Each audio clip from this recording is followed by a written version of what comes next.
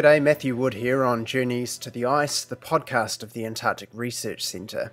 Coming up in this episode of the podcast, what would be an interesting record to add to those existing records around New Zealand is something that can combine what's happening on land and what's happening in the sea. One of the few proxies that can do that is palynology. The science of palynology considers palynomorphs, the pollen and spores of terrestrial plants, and the organic cysts of motile marine plankton known as dinoflagellates. These microfossils can be found incorporated into seafloor sediments and, uniquely among climate proxies, provide contemporaneous environmental information for both the land and the ocean. By correlating modern dinoflagellate assemblages to measured parameters of the overlying water column, well-dated fossil assemblages can then be used to derive numerical estimates of paleo-environmental conditions, such as sea surface temperature, for specific times in the recent geological past. In his PhD research, Joe Prebble wants to contribute to the understanding of how palynology is influenced by climate in the New Zealand region today. Using this relationship, he'll be able to gain a quantitative sense of the environmental conditions that prevailed during certain warm interglacial periods of the Quaternary, as documented in high resolution sediment cores recently collected off eastern New Zealand. Thanks for joining us today, Joe. Welcome to the podcast and also welcome back to the Antarctic Research Centre. You've recently started your PhD here. What sort of work was it that you left in order to come back to university? I've been working for a consultancy company doing contaminated land and that sort of thing, and decided that this was what I wanted to do instead.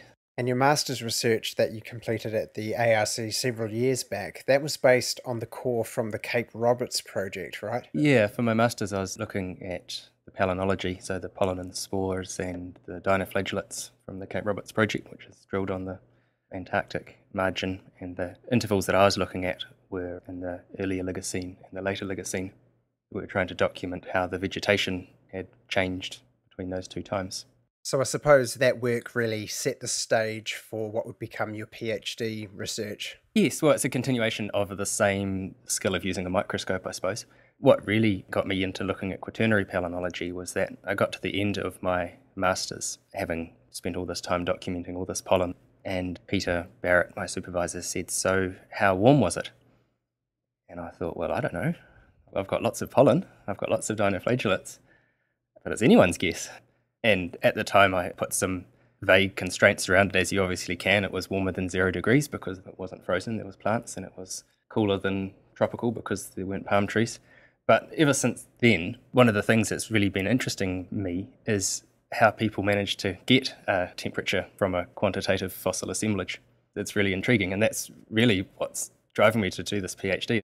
So, briefly, what is the scope of your PhD research and what are the overarching objectives that you've established? Well, I want to investigate climate variation during the Quaternary, with a particular emphasis on investigating how the climate varied during warm interglacial periods. There's about 15 glacial interglacial cycles over the last million years or so, and of those, three or four appear to be as warm as the present or slightly warmer. So I'm interested in investigating them partly as an analogue for what the world might look like in the future, in a warming world. I suppose looking at the Quaternary in many ways isn't a good analogue for what the future is going to be like because the last million years has carbon dioxide fluctuating at pre industrial levels. So, if you want to find out how the Earth system might have responded to carbon dioxide at higher levels, or even the levels they are at present, then you can go and study the Pliocene or go back and study the Eocene for a very high carbon dioxide scenario. But I suppose the sort of information that you get out of studying the Quaternary interglacials is some feeling for the variability in the Earth system in a normal carbon dioxide world, but you've got the advantage that your atmospheric circulation and your continents and your oceans are in roughly the same position as present. So you, you get a feeling for how much the normal world can vary before you put an increase of carbon dioxide over the top of it. Now, one of these warm Pleistocene interglacials that is a focus of your research is marine isotope stage 11. So this is 420 to 360,000 years ago. What makes this interglacial particularly interesting in the context of your study? So, the interesting things about stage 11 are that it's a period of time which has got long, fairly stable climatic conditions that seem to be a lot like what we've had for the last 10,000 years, Holocene conditions. And it has fairly similar orbital configurations to the present. So it has similar amounts of solar energy hitting most parts of the Earth. And around the New Zealand region, there are no records of what the terrestrial conditions were, or rather, there is one record of pollen collected from right out in the deep ocean, which is so far away that it's surprising even that pollen really has got there. And there are about three records of sea surface conditions derived from foram transfer functions. And what would be an interesting record to add to those existing records around New Zealand is something that can combine what's happening on land and what's happening in the sea. One of the few proxies that can do that is palynology, because you can look at your pollen and your spores that are derived from your trees on land, and you can look at your dinoflagellate record, which are microscopic algae, which happen to be formed by the same sort of stuff that pollen is. And so both of these things, a proxy from the land and a proxy from the sea, come out into the same sample. So you can look at exactly the same time in a geological sample and say roughly what's happening on land and what's happening in the sea at the same time. Throughout these podcasts, the people that I interview point out again and again that the New Zealand region is really this sort of key area in the world for studying paleoclimate, particularly with regard to things like the relative influence of the Northern Hemisphere and Antarctica, changes in atmospheric circulation and the migration of ocean fronts, for example. Now, for your paleo record, you'll be using IODP Site 1352. Now, this is the record breaking Integrated Ocean Drilling Program core retrieved by the JOIDES Resolution in January of this year off the Canterbury coast. Why is this specific core location ideal for your study? Well, the sort of questions that we want to answer are how terrestrial changes relate to oceanic changes. So, to be able to get any idea of the terrestrial changes, we have to have pollen that's come from a tree and gone down a river or through the air and ended up in the sedimentary record. So, we wanted to get a record that's reasonably close to the land, a sure proximal record, and that we can get a reasonably high resolution record out of, and that there's quite a high sedimentation rate. The other record that I'm going to look at as well as this nearshore record, as I want to step further offshore east of New Zealand out to Site 594, which will be further from land but should have a better oceanic record. Now, of course, before you can begin to make sense of a paleoclimate record at any sort of quantitative level, you need to have an understanding of the modern setting. So, in the context of your study, you need to have some sort of suite of modern analogues for any potential fossil palynomorph assemblage that you might find in a core. Because, of course, it's only in recent historical times that we've been able to take direct measurements of any environmental or climatic parameters that we might be interested in. Now, without getting too bogged down in all the complex mathematics that are obviously involved, could you talk a little bit about the statistical tool of transfer functions and how you plan to go about generating them for your research? Well, I suppose if you want to know what the sea surface temperature was in a paleo record, there's a couple of main ways that you can go about it. You can use geochemistry, like magnesium calcium, for instance, or you can use faunal assemblages, which can be assemblages of foraminifera or radiolarian or dinoflagellates or diatoms. All of those approaches, whether they're using shell chemistry or faunal assemblages, require that they be calibrated to a modern environment so, underpinning the magnesium calcium is the observation that in modern foram shells, the magnesium concentrations change with sea surface water temperature. And so, when you want to reconstruct sea surface conditions using faunal assemblages, you need to start by seeing how the relative abundance of the different taxa, different species, you need to see how they change in the modern environment. So, we do that by taking as many samples as we can from as many different seafloor settings as we can. For some fossil groups, like foraminifera, there's been a lot of work over the last 20 years collecting extensive archive of seafloor sediments, and they have 1,500 or 2,000 seafloor sites, at least, from around the world. Other fossil groups are catching up, and different fossil groups have got different advantages and disadvantages for trying to understand your sea surface conditions. So things like foraminifera have got various dissolution problems with depth. Others occur less frequently at high latitudes or low latitudes, and so you can get less reliable sea condition reconstructions from them. So the fossil group that I'm looking at are dinoflagellates, which are marine algae. Some of them are photosynthetic, so they produce their own food, and others are heterotrophic, so they eat other bugs. Some of them are both. They're quite a mixed group, but what they do once in a while is they form cysts as part of their life cycle, sometimes once a year, sometimes during times of environmental stress. Frequently, these cysts will sink to the seafloor on the shelf, so to 300 metres water depth, where they can be remobilised, hatch out, and go on with their living. These cysts are formed from a resistant organic, I think it's a carbohydrate based stuff, a lot like pollen, which can be preserved into the rock record. So, to take a step back, what we want to try to do is take a bunch of samples from as wide of environmental gradients as possible, and then from other sources, get environmental measurements for each place where we've collected a sample from. So, measurements of sea surface temperature, for instance, or um, productivity, perhaps, and then relate the faunal assemblages on the seafloor to the environmental conditions. And once you've done that, you need to try to demonstrate which environmental conditions seem to be influencing the distribution of your species most significantly.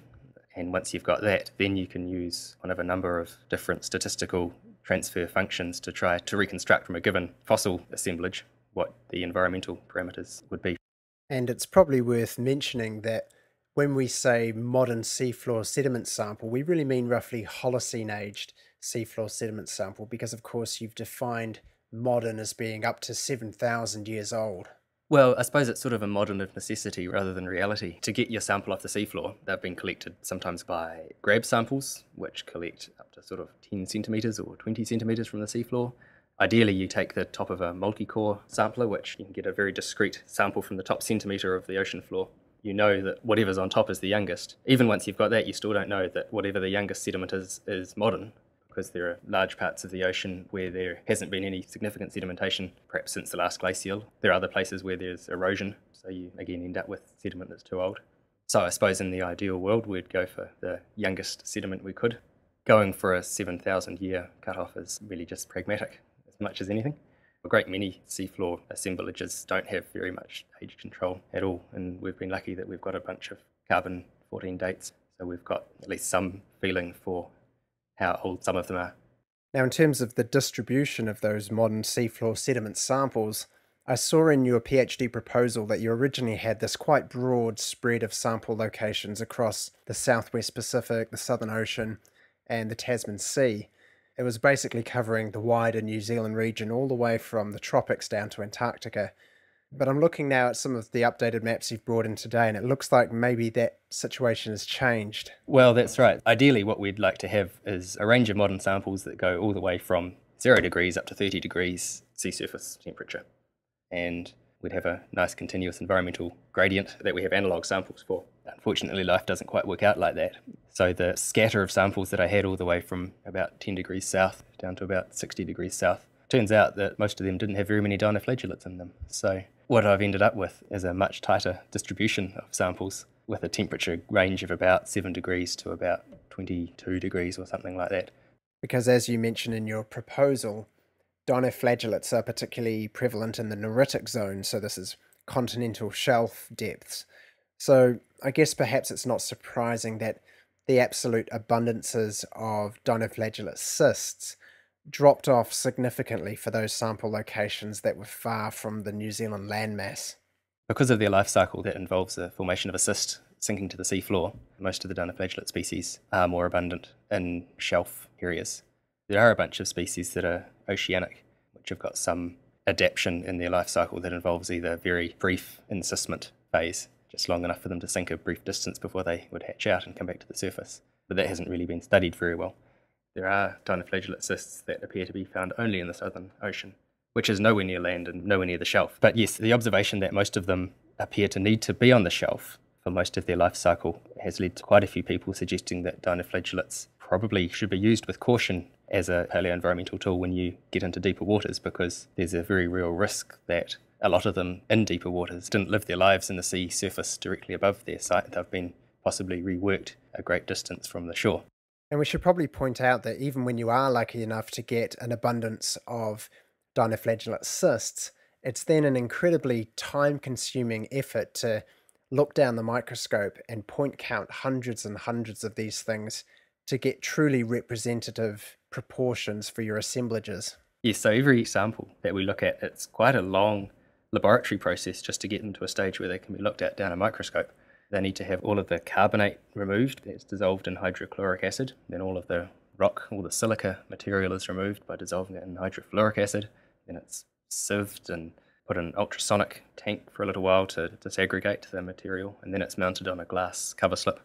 And we look at it down a light microscope and try to count at least 300 dinoflagellate cysts for every sample location, which some places where there's lots of them, that's a short, painless exercise, and sometimes where there's very few, it's too hard to finish. That's really why my data set has gone from having a 60 degree spread down to about a 40 degree spread.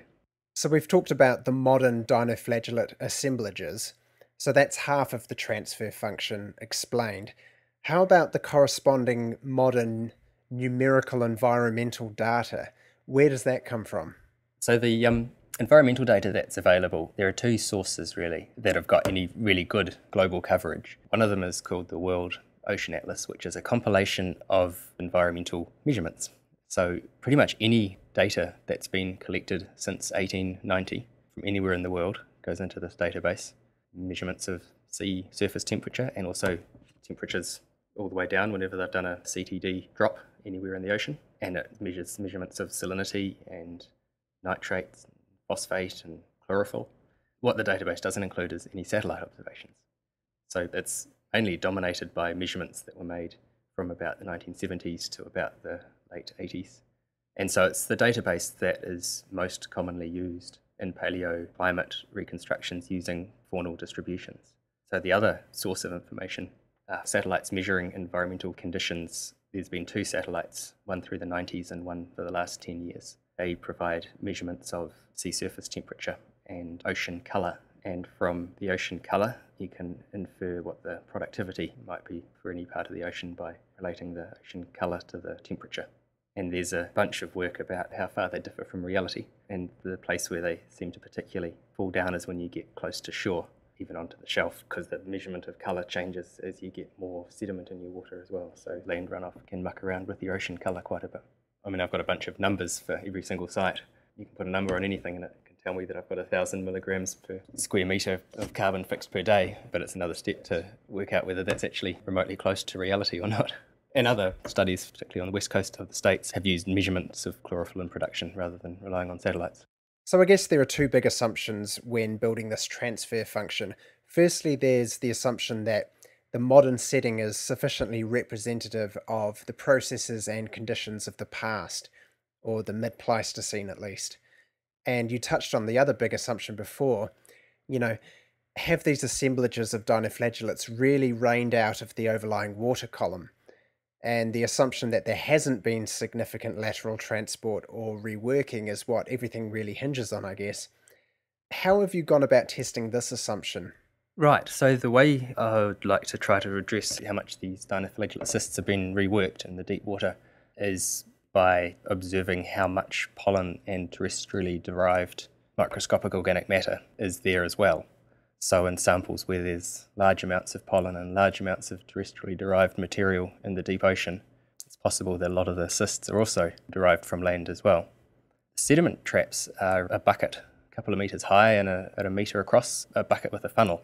And Scott Nodder at NIWA has had a sediment trap program going for the last 10 years, where he has two traps, one moored north of the Chatham Rise, well off the coast of Castle Point, and another one south of the Chatham Rise, well off the coast of Dunedin. These traps are fixed to the seafloor and moored at about 1500 metres water depth. So what these traps do is anything that's raining down through the water column collects in the funnel and it goes through to a little cup at the bottom, which is filled with a poison that kills any bugs and preserves them. And every two weeks or so, the little engine shifts the carousel around and fills up another cup. And they go out on the Tangaroa, the NIWA research boat, every six months and pull up the traps and empty the bottles and put some new ones out this has created this really quite amazing time series that shows how productivity in the surface waters is being exported to the seafloor. And I've been given a chance to have a look at some of this material. Initially, I thought it was going to help me answer questions about how much reworking there is. If my seafloor assemblage directly below the trap doesn't match with what's in the trap, then perhaps the seafloor sediment has been reworked. But the time scales are really just so different. You know, these traps are 10 years, whereas my seafloor sediment could be anything up to many hundreds of years or a few thousand years. So, what I'm using them to do now is try to get some understanding of the seasonality of the dinoflagellates' life cycles. So, just to find out what time of year these things form their cysts, there's massive spring blooms, particularly north of the Chatham Rise. Basically, there's very little export production, very little stuff is going down through the water column for 10 months of the year, and then you get to October, and there's great big photosynthetic blooms on the sea surface, and then you get massive amounts of organic material landing in the sediment traps days after. And then it goes quiet again for a few months, and then you get another bloom in autumn. So I'd like to be able to work out what time of year the dinoflagellates are uh, forming their cysts. And the whole point of that is that you can have a bit more confidence when creating a paleo record. Do I use a mean annual temperature or do I use an autumn temperature? Which doesn't change it much, but it changes the number you'd use by a few degrees. So it's early days in terms of your project. You've still got a lot of work ahead of you. But what do you think is perhaps the biggest contribution that this project will eventually make to paleoclimate science in New Zealand? I suppose one of the things that we don't really know is when conditions change on land, what's happening in the ocean at exactly the same time. We've got lots of records of what's happened in the ocean, and we've got fewer records, but still records of what's happening on land in some cases, but we don't have any records of how the two change, whether they change at the same time or whether the ocean leads the land or the other way around. So being able to get that coupled record, I think, is the main value in looking at both pollen and dinoflagellates from around New Zealand. For more journeys to the ice, visit sciblogs.co.nz forward slash journeys to the ice.